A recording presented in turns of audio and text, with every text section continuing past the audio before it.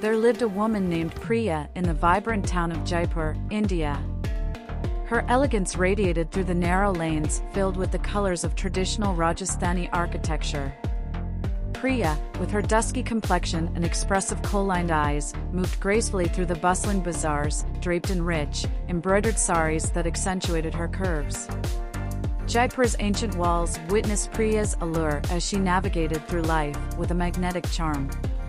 She frequented the local markets, adorned in exquisite jewelry that jingled like a melody, echoing the spirit of the city's vibrant culture.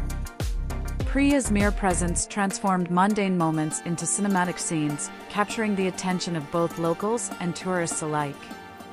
In the evenings, Priya would frequent the Hawa Mahal, the Palace of Winds. There, against the backdrop of the setting sun, she would stand like a vision in her resplendent attire. As the evening lights illuminated the intricacies of her ensemble, the allure of Jaipur found its perfect embodiment in the form of this elegant woman, who seemed to embody the essence of centuries-old traditions. Known for her philanthropic endeavors, Priya was not just a symbol of beauty but also a beacon of compassion in the heart of Jaipur.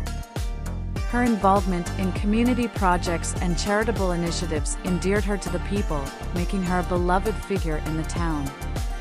Priya, with her grace and generosity, became an inseparable part of the tapestry of Jaipur, adding a modern touch to its timeless allure.